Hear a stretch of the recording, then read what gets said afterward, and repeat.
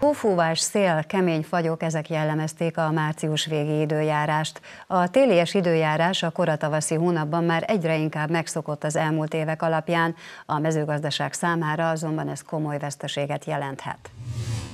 Márciusban az évszaktól szokatlan időjárással nagy mennyiségű hó és hideg idő érkezett hazánkba. Ez a mezőgazdaságban is éreztette hatását, az ország több területén is jelentős fagykárokat okozott. Szabolcs-Szentmár-Bereg megyében miként éreztette hatását a mezőgazdaságban a rendkívüli időjárás, okozott-e fagykárokat a gyümölcsösökben? A jelenlegi állapotban tekint, megtekintettük itt a hétvégén a több gazdálkodó is a, a gyümölcsösöket. Jelenleg nem látunk még olyan veszélyt, hogy aggodalomra adna okot.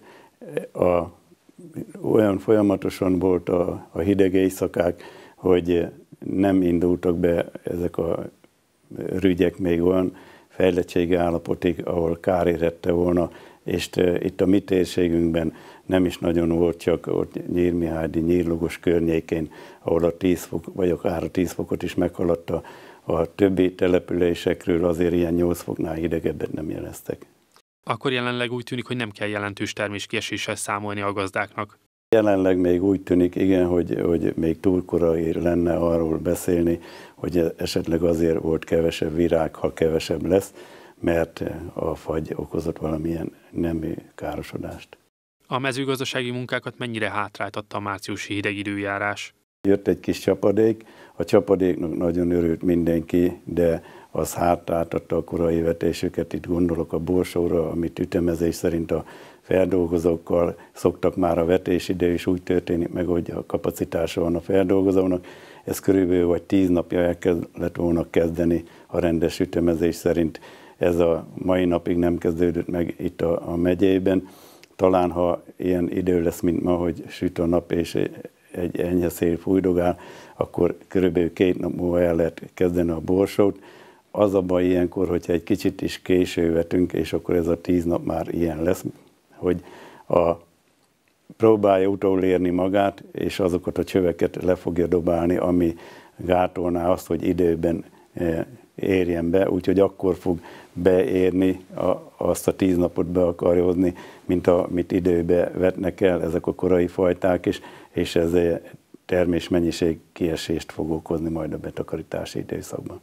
Korábban azt nyilatkozta elnök úr, hogy jól haladnak a meccési munkákkal a gazdák. A márciusi hideg ezeket a munkákat lassította esetleg? Vannak még eh, metszetlen területek, kevés, illetve a gajkaparások, mucsúzások, ezek egy kicsit elhúzottak e- emiatt a, a csapadékos idő miatt hiába volt enyhe, azt előre voltunk ott februárban, még arról beszélgettünk, hogy milyen jó előre haladott állapotban vagyunk, azért az időjárás gondoskodott arról, hogy mégis a, a végén így álljunk, de én azt gondolom, hogy mindenki igyekszik ebbe a, ezt a jó időt kihasználni, és mindenki a, a növényvédelemre fektet majd most már nagyobb hangsúlyt.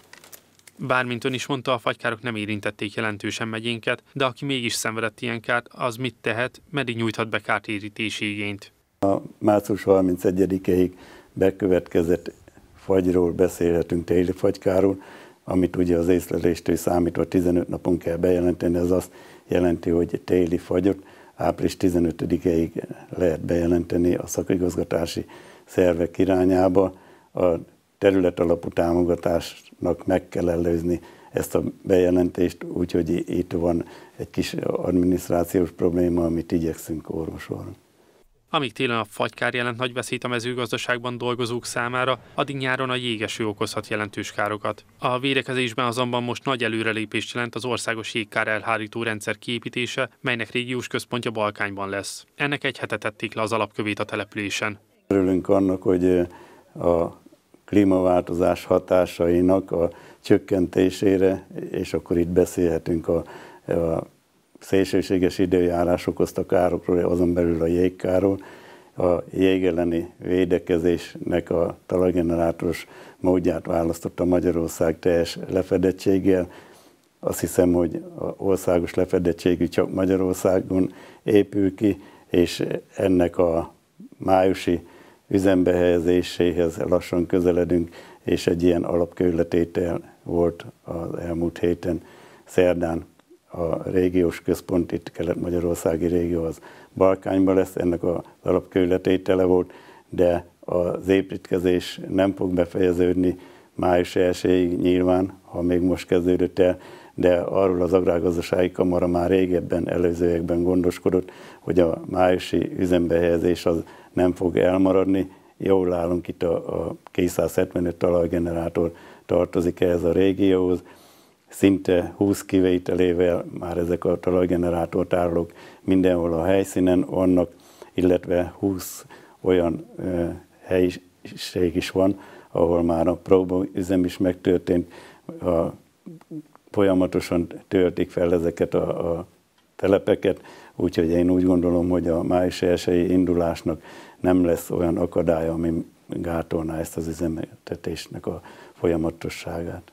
Elnök úr említette, hogy a klímaváltozással járó szélsőséges időjárás egyre nagyobb gondot okoz a mezőgazdaságban is. Megyénk egy kimondottan agrármegyének számít, itt ennek azért nagy jelentősége lehet. Milyen változásokat, nehézségeket okozhat itt az éghajlatváltozás, mennyiben befolyásolhatja a mezőgazdasági termelést?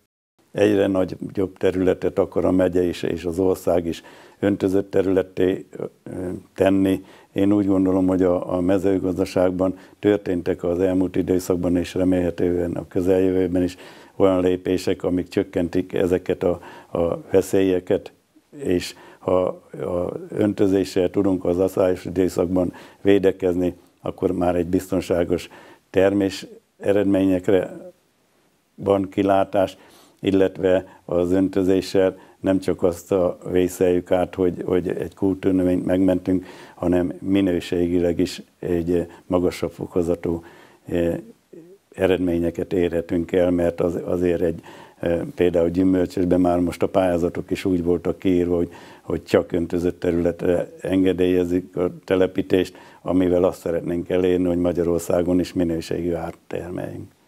Azért nagyban segítik a térség fejlődését a különböző pályázati források is. Balkányban múlt héten tartottak gazdafórumot, ahol Viski József az agrárvidékfejlesztési programokért felelős helyettes államtitkár kiemelte, hogy a legtöbb mezőgazdaságot érintő támogatás a megyébe érkezett.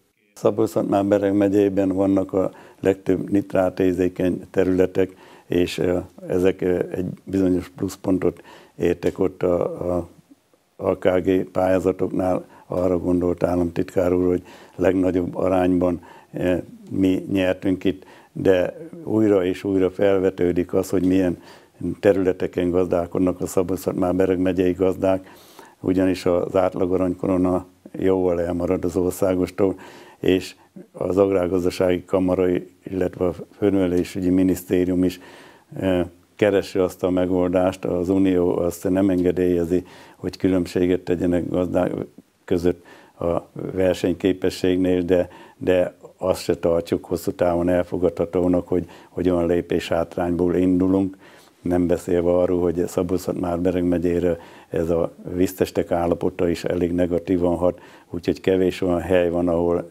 mélyfúrású kutukból tudnánk öntözni, illetve még a felszíni víznek is erős korlátjai vannak, hogy ezt tudnánk hasznosítani, úgyhogy az elkövetkezendő időszakban nagyon sok tennivaló van ahhoz, hogy, hogy ha szabolcs már Bereg megyét fel szeretnénk zárkóztatni, és más kitörési lehetőségünk nincs is csak ez a mezőgazdaság, akkor ide nagy összegű beruházások, fejlesztések szükségesek.